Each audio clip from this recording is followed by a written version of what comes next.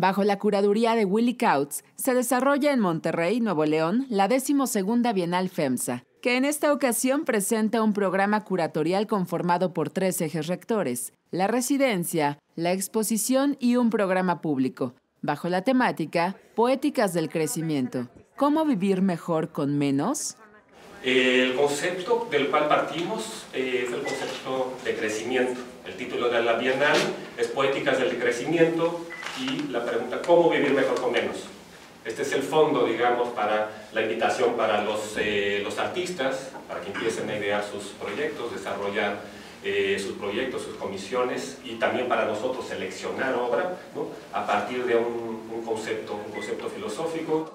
Con esta propuesta se pretende reflexionar sobre cuestionamientos de nuestras formas de vida con relación al medio ambiente y a la economía del consumo. Lo que estamos planteando es una bienal que lanza un diagnóstico desde el arte, un diagnóstico estético respecto a cómo nosotros tenemos que reconfigurar nuestra relación afectiva con nuestro, nuestro entorno.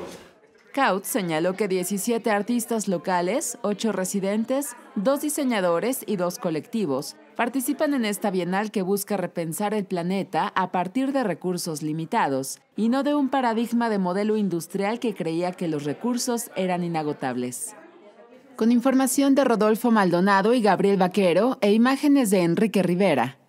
Notimex.